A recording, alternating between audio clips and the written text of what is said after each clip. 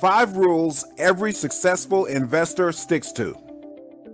Don't be overly emotional.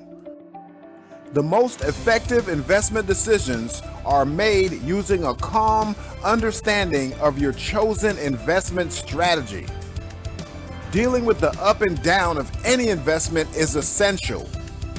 No taking the results right or wrong personally will allow you to cut losses fast rather than holding on hoping for the results you wished for.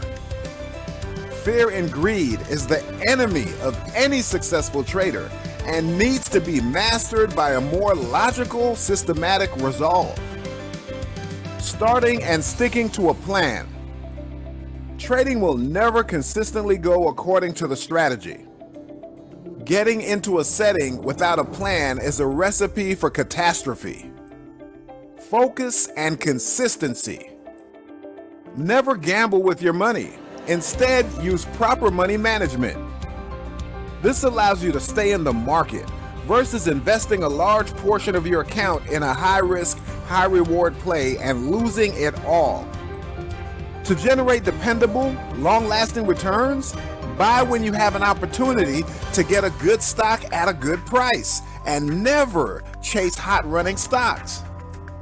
Instead, dollar cost average into and out of trades by buying stocks you like when they dip and selling a percentage of your stock you wish to take profit from. Be extremely disciplined. Whether you have a long term investing plan for retired life or a temporary day trading plan to pay the bills, you need to adhere to the strategy unless you have a great reason not to. There are a lot of different trading strategies that work. However, leaping from one technique to another is not the way to win. When possible, hold your investments for the long term.